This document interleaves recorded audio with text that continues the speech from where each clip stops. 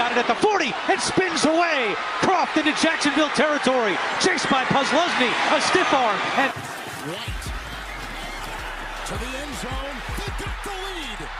Football League, the Alliance of American Football for Mike Martz.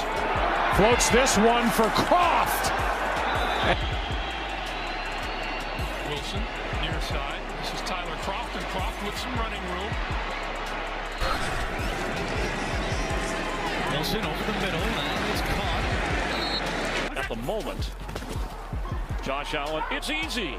It's going to be a touchdown, Buffalo. And Tyler. Some Jags here in week 16. Just looking for their fourth win of the season. Wilson slinging it. A little bit of a wobbling pass. Gets into For the end zone. Touchdown!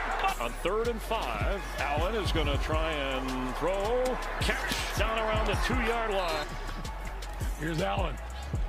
And Allen down the sideline and a wide open receiver. That is Kroft. Play action to Carter, and the pass spins the tight end around. But t- Allen from the pocket. Open. Catch made at midfield.